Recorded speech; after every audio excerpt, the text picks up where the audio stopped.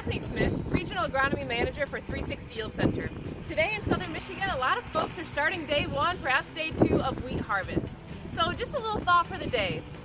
Why don't we take some of the things that we use to grow wheat, the practices to grow wheat, and apply them directly to corn. So wheat is a three, C3 grass, we think about corn as a C4 grass. Both of these grasses, I think there's things that we can learn from wheat's playbook when we go to looking at efficient growth of, of corn. You know, thinking, thinking about wheat in terms of fertility, most growers will have at least two passes of nitrogen and two passes of sulfur. This is so the plant has it readily available throughout the season. We're applying sulfur to this crop because A, it's very sensitive to it, and two, we're not getting it from the environment anymore. We think about a fungicide application. Many growers will look to, to apply twice, maybe even three times a fungicide.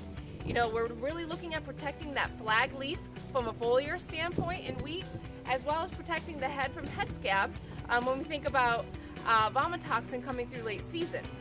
You know, when we think about corn, we should really be thinking about protecting that ear leaf when it comes to a fungicide application, as well in some cases where we get really high humidity during uh, pollination for, for a grain uh, type of application in terms of fungicide as well.